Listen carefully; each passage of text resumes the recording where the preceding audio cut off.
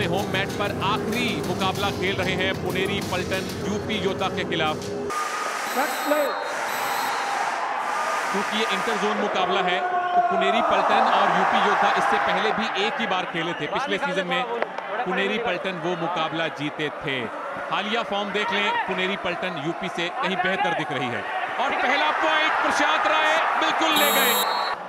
श्रीकांत जाधव पहली रेड कर रहे हैं इस मैच में। उनतालीस रेड पॉइंट उनके नाम है इससे पहले के खेले गए मैचेस में। ये चालीसवां पॉइंट दोनों कॉर्नर बाहर। शुभम शिंदे बाहर गए रिंकू नरवाल बाहर गए। क्या ये रनिंग हैंड टच किया है मोनू ने? बिल्कुल। शुभम शिंदे को रिवाइव करवाया पुणे ने खाता खोला। और बड़ा शिकार किया। प्रशांत कुमार राय को बाहर किया। क्या यूपी अपनी इस बढ़त को बना पाएगा? पुनेरी पलटन के लिए आखिरी मौका है अपने होम लेग में। एक शानदार जीत दर्ज करने का। शुरुआत अच्छी नहीं हुई थी, पहला मैच हारे थे, और ये टच मारा सागर कृष्णा को लेफ़्ट कॉर्नर पर। संदीप नरवाल तीन मैचेस से बाहर हैं, गिरीश शर्नेक आज खेल नहीं रहे, और ये डाइव लगी लेकिन क्या दो पॉइंट या तीन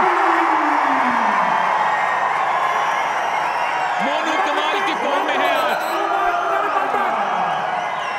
टोटल इस मैच में जो 23 पॉइंट स्कोर किए गए हैं, उसमें से एक ही पॉइंट डिफेंडर ने लिया है। उसका नाम है नितेश कुमार।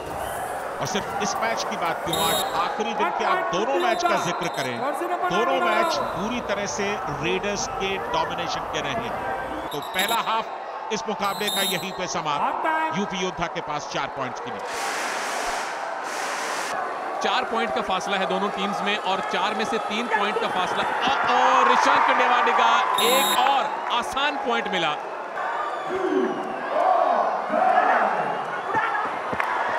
ले लिया पॉइंट पॉइंट बोनस मिल सकता है। बोनस के लिए पैर ब्लैक लाइन के पीछे जाना चाहिए। और ये कमाल का एंगल हो। प्रशांत आउट दूसरा टैकल पॉइंट पुनेरी पलटन का। अब आएगा मज़ा। मोनू गए हैं डुओ डाई रेड पर। पॉइंट लेना ज़रूरी है। पॉइंट नहीं मिला तो आउट होंगे और आउट हुए तो सुपर टैकल सिचुएशन है। सुपर टैकल मोनू बाहर। पुणे के पॉइंट देखिए टीवी के नीचे, तीन टैकल पॉइंट तेरह रेड पॉइंट यानी कि डिफेंस नहीं चला है और डिफेंस ने पॉइंट दिए हैं। मोनू आउट शिकार किया नितेश कुमार ने। सचिन कुमार अंदर आ गए हैं डिफेंस को मज़बूत किया है उनके कोच जसवीर सिंह ने। अक्षय जाधव, क्या लॉबी में गए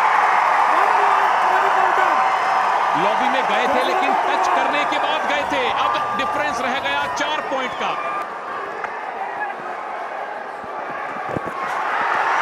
नितिन तोमर का शिकार। यूपी योद्धा यूपी योद्धा की संभावनाएँ बेहद मज़बूत।